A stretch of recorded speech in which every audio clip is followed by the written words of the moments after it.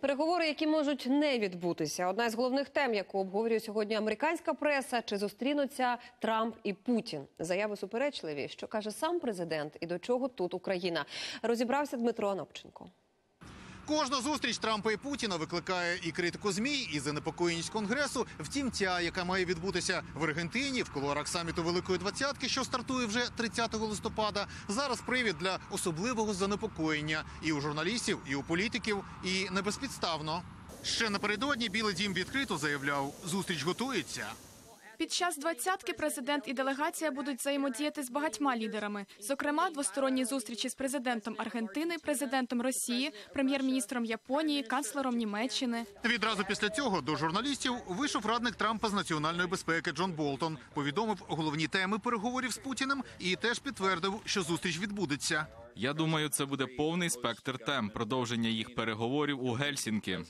При цьому тон Болтона був примирливим. Він навіть сказав, Дональд Трамп не робитиме окремих заяв з приводу подій у Керченській протоці. Мовляв, досить того, що Нікі Хейлі в ООН вже заявила.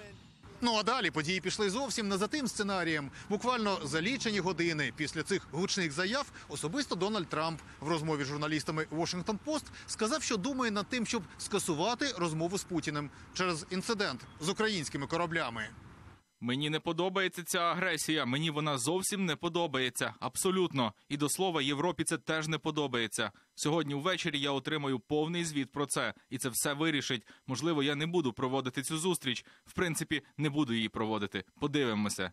І, хоча остаточного рішення про скасування поки що немає, як сказали мені журналісти з президентського пулу, все це говорить про боротьбу між різними людьми в команді Дональда Трампа, яку зазвичай не видно, але зараз вона вийшла назовні.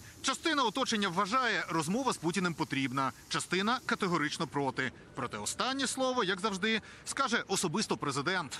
З Вашингтона Дмитро Анопченко, Юрій Романюк, американське бюро телеканалу Інтер.